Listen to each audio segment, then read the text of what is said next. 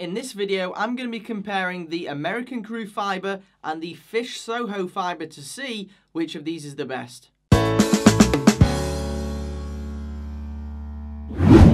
Gents, welcome back to another hair product comparison video. In today's episode, it's the battle of the fibers. We've got two well-known brands and we're going to be seeing which of their products is the best. In the blue corner, we've got American Crew Fiber. Very popular, well-known brand. I included their molding clay in last week's episode of this and I told you how bad it was. So for today's episode, I'm going to be seeing if the fiber is actually any better. And in the red corner, I've got a slightly lower price brand, at least here in the UK, Fish Soho. Their Platinum Fiber is one of their newest products. I'm going to be seeing if it actually works. So today I'm going to be putting both of these against each other to see how they perform in different ways. And also whether they are good value for money. Let's begin then by looking at what these products actually claim to do. The American Crew product says pliable fibre with high hold and low shine. And the fish fibre says firm hold, super matte finish, so very comparable to one another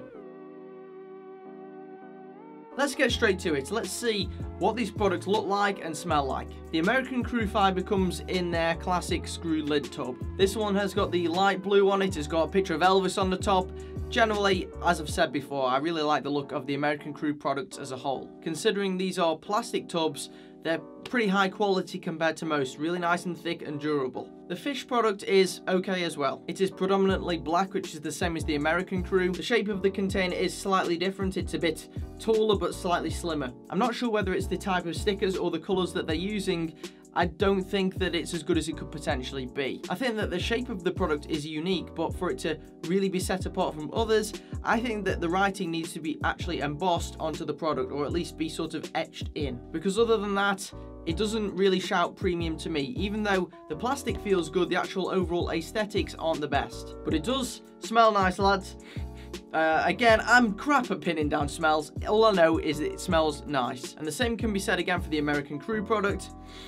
This is one of the nicest smelling of their range. So for the category of smell and packaging, the American Crew unsurprisingly takes the win here. I'm giving this one 4 out of 5 stars, and the fish product I'm giving 3.5 out of 5. Now we're going to see which of these products is the best at coming out of the tub, into the hair, and then into the shape that you're looking for. The American Crew Fiber is one of the quickest products I've ever used at getting it out of the tub and your hair into the position that you want. The texture of the product is what you would expect from a fibre. It's somewhere between a cream and a clay. It goes into the hair absolutely fine, but once it's in the hair, you can get your hair straight into position. It's really, really effective. The fish product's also going to get quite a high score here as well. The texture of this product is more like a paste, I would say. It's a little bit more creamy than the American Crew product. So it is slightly easier at getting through the hands and into the hair, but the control level with this isn't as good. The product dries out a bit quicker than I would maybe want, so sometimes you have to go back and reapply again in order to get it into the shape that you want. But generally, when you compare it to other products that I've tried, including those from last week's episode, it's still quite good at this. But the American Crew product is again going to take this round 4.5 out of 5, a very solid score. The fish product still got a good score here though of 4 out of 5.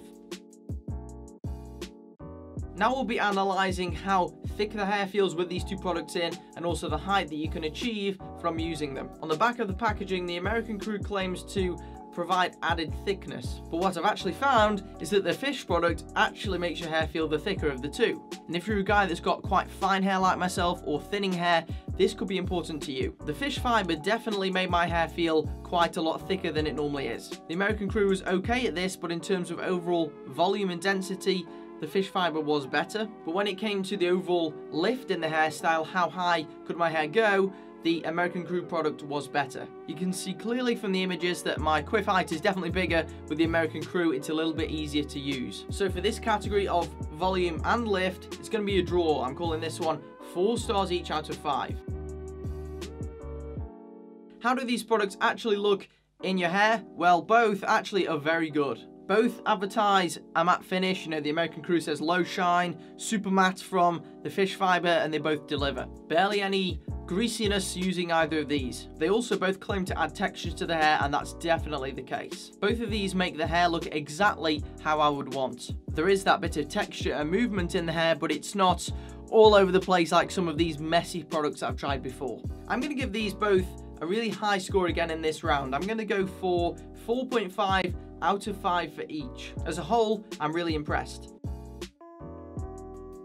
This is the big round again for me lads here. Hold, I think is very important in a hair product. And the first time that I tried both of these products, I thought, you know, this is amazing hold, but actually is it amazing? Not quite. I would say on the whole spectrum of hair products, both of these products do qualify as a high hold, but they're not quite as high as some of the products that I've tried before. If you want both of these to last in position all day on your hair, then you are going to require some hairspray unless you've got quite thick hair. Luckily for both of these products, if the hair does start to droop, you can easily get it back straight into position and it's still got reasonable hold when you pull it back again. So overall, I'm going to be giving both of these products quite a good rating in this category, 3.5 out of 5. So what's the overall verdict gonna be? Which one of these two is the winner? Well, we've had quite a lot of drawn rounds, but the overall winner just about is the American Crew Fiber. It's achieved an overall score of 20.5 out of 25 with the fish fibre coming in just behind at 19 out of 25. In terms of my overall impressions of both of these products, um, I'll start with the American Crew.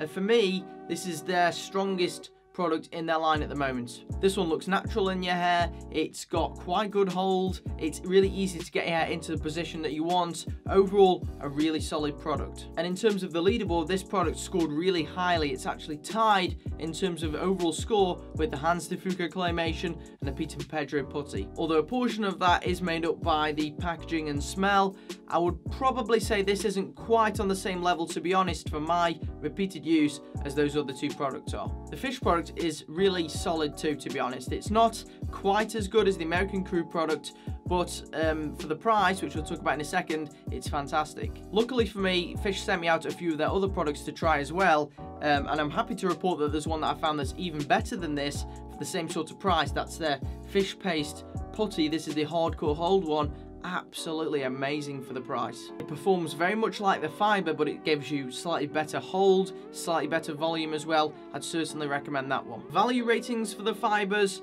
these are going to be slightly different. At the moment, the American Crew product is typically selling um, in most places between about £8 and £12. And for that price point, it's pretty good. It performs as you'd expect for a product of that price point. So I'm giving it a value rating of 4 out of 5. For this rating, the fish product actually takes the edge because it's a really good product for quite a bit less money than the American Crew. These products normally range in the about five to seven pounds mark. So you're looking quite a bit less than the standard that you pay for the American crew and you're almost getting the same result from the product. So if you're not a guy that's willing to spend over 10 pounds on a hair product then I know you can get these fish products really easily from several drugstores in the UK or online and you get really good results for the money better than a lot of the other cheap branded products. I'm sorry to tell you lads that this is going to be the final episode of this show for the first series at least. Um, I want to know how you guys have found this one. Um, I've had mixed reviews from some of you guys, so let me know in the comment section below.